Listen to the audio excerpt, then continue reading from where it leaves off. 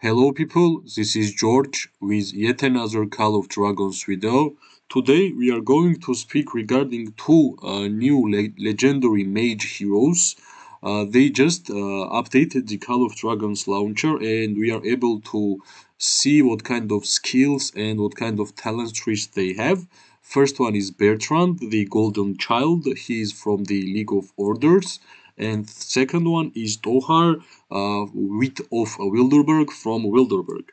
First of all, we will be speaking regarding Bertrand, what kind of skill set and what kind of synergies Bertrand have. Uh, first of all, we need to mention that Bertrand Bertrand is a flying hero, and there is like a couple of obvious uh, choices on which heroes uh, he will be great with. But until we will move forward, uh, let's speak regarding these skills, right? Uh, so the first skill, Entitled Rage, is a 1300 uh, skill damage factor skill, and uh, Bertrand deals like uh, damage to the target legion and consumes all stacks of the golden mark, increasing damage dealt by 5%. So something is about golden mark. Uh, I think the whole gameplay and whole synergies will be around golden golden mark for Bertrand, and we will find out in the end what the actually golden mark is. The second skill, when Bertrand deals hero skill damage, he gains one stack of golden mark for 5 seconds, maximum to 3 stacks. Each golden stack mark increases hero skill damage dealt by 4%. So we finally understand what the hell is a golden mark. It's like uh, whenever you are dealing a skill damage to the enemy, you are giving them some stack, which is called golden mark. Uh, this tag can be kept on the enemy legion for 5 seconds and maximum amount of stacks uh, can be attached is 3. So for the each stack is 4%. Uh, so like hero skill damage dealt bonus up to 10%. Great, great uh, kind of synergy already is uh, like uh, we can see all like you are hitting enemies with the range. Uh, also if you will be able to stay alive longer you will be able to deal more damage. Okay. So third skill, all mage units in Bertrand Legion are getting 25 magic attack bonus and magic unit enemy defense penetration up to 10%. Okay, uh, the fourth skill uh, is that like attack and defense bonus up to 15%. Like there is always great to see like attack and defense bonus together. Uh, it's always better uh, rather than them being like only attack and only bonus. And I know uh, for people players like me, for free-to-play players, it's hard to awaken legendary heroes, but we still need to read Basically, after awakening, Bertrand deals damage to the target legion and consumes all stack. So basically, uh, instead of 5% uh, per golden mark stack, uh, 3%, I'm sorry, you will, be getting 5% uh, per stack uh, for the golden mark which will be uh, and additional uh, 1500 damage rather than 1300 damage. So like basically you are getting more damage. So like the synergy around Bertrand is all about golden mark. I think longer the Bertrand's legion will stay alive in the battlefield the more more damage they will apply.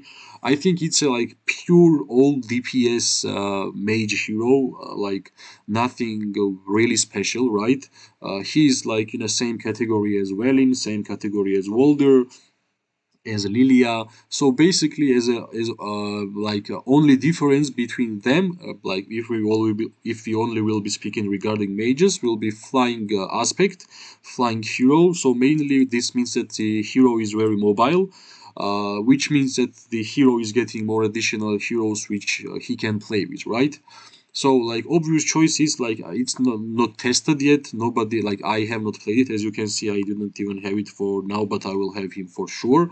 But my guess, like if I will have a guess regarding hero pairs, I think he will be amazing with Atheus. Like again, flying a hero stacks, uh, and uh, like Thea and uh, I'm sorry, uh, Thea and Bertrand will be amazing. Uh, simple as it, as soon as I finished reading the skill sets of the Bertrand, uh, I said the longer the he will stay alive in the battlefield, more damage he will do. So, like, Thea is all about staying alive in the battlefield. This is my guess. Uh, I think Thea will be amazing, uh, will be amazing, and in general, I think uh, the hero is like uh, especially good for a League of Orders, simply because Flying Hero, Celestials, let's go, right? Celestials will be amazing with Bertrand and Thea. Uh, if you don't want to run uh, with flying heroes, I think he will be amazing with anything, honestly. Like Waldyr for additional enemy legion uh, damage, uh, Welling for a defense penetration and crit rate, uh, Lilia with like basically all her damage. So uh, my guess uh, is that um, like Bertrand will be amazing with Thea, and Bertrand will be amazing amazing with Atheus. Other than that, I think he will be fine uh, with anything else which we currently have. Uh, I won't gonna speak like what kind of artifacts. It's it's too early for to speak regarding like more stuff about uh, Bertrand. It feels we need to see more more gameplay of him. So let's move on and let's speak with Tohar, he, which is more kind of more interesting and unique uh, hero. He's um, he or she or it is a mage garrison support unit. Uh, as a mage unit, as a mage uh, legendary hero being at the a garrison and being support is like very unique. So I'm pretty interested what kind of skill set uh, Tohar have. So let's dig uh, deep inside the skill set and read it, right? So first skill, Earth Conduit is a passive skill. Every after every five normal attacks, Tohar channels Rage of Plateau, dealing damage to the target legion every second for up to five seconds. Moving interrupt channeling. So you are standing still that's pretty unique. If you will move your legion whenever Tohar is uh, casting this skill uh, this channel will be interrupt interrupted. So uh, and the it's like ticking damage like a poison damage up to five, uh, five seconds damage factor to 300 uh, so interesting uh, the regarding garrison skin increases the attack of Tohar's garrison army by 10% while they are garrisoning in city or stronghold and have uh, 50% more unit remaining. So like yep, uh, magic uh, garrison hero, uh, welcome. This is a skill for the garrison, pretty useless for the battlefield or any PvP stuff or even PvE stuff. It's purely for defense and purely for garrison, which is interesting. Like we have infantry heroes, which are garrison heroes, and new hero mage uh, new stuff is always welcome, right? Third skill, magic units into Tohar Legion deal uh, uh, 10% more skill damage, but deals 5% less normal attack. Well, it's obvious, it's Tohar is not about normal attack, simply because uh, first skill, the main skill, uh, it means that you are standing still and you are not attacking enemies with normal attack, right? You are just channeling your skill uh, for like 5 seconds, right? so normal attack doesn't like doesn't really matter not a big loss in my opinion and you are getting uh, magic unit skill damage deal bonus up to 30%. The fourth skill, while channeling the Rage of Plateau, so uh, like Rage of Plateau is a main uh, attribute, main skill for Tohar. Tohar Legion gains uh, Undiling and Shelter. Undiling counterattack damage taken minus 5% and Shelter defense plus 15%. So basically you are getting more tanky. Uh, whenever you are casting this skill, uh, the plateau, uh, you are receiving like raise counter attack damage. You are more tanky. You have defense, more defense. Also, your units deal more damage. Like there is a synergy. I'm not gonna say it's a good one or bad one simply because uh, it's a new stuff. It's a unique, and we need to see how it actually works. Uh, I have not tried it. I have not seen anybody try it. So like time will tell, and of course in the future, if interest will be, I will make a guide about Tohar and Bertrand one by one, right? Uh, so the uh, awakening skill after Tohar finishes channeling Rage of Plateau, his Legion gains keen attack 15 35% for 3 seconds. So like as as I say, I, I don't see Tohar being a um, primary primary hero for a battlefield uh, action. For battlefield, he will be uh, secondary unit. Uh, like all the skill sets are pretty real. I understand that whole skill set is uh, played around the Rage of Plateau, but as a major hero having a five like channeling skill and you are getting more defense like counter attack damage reduction up to 50% then you are getting keen. So yep it's interesting. Uh, let's see like uh, I, I spoke regarding bertrand right? Like what kind of hero pairs but uh, for Tohar i have no clue.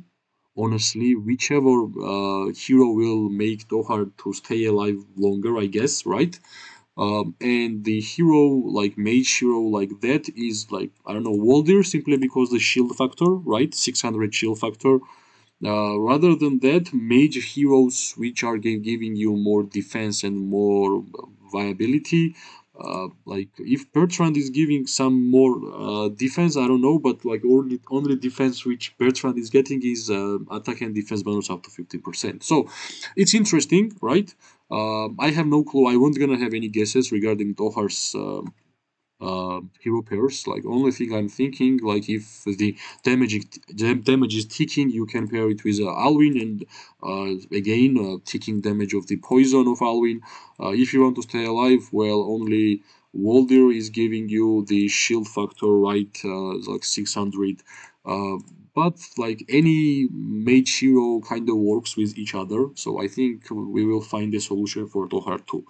Uh, so we are having two new uh, legendary mage heroes which are both very interesting also we have a lot of updates regarding whole game new artifacts new new updates visual updates so like i will be adding more content to the game. So thanks for watching. If you want to see more uh, content by me uh, feel free to subscribe uh, like the content uh, and if you have like any ideas or any wishes or like you have different view rather than me feel free to share it on the comment section and i will try my best to answer it.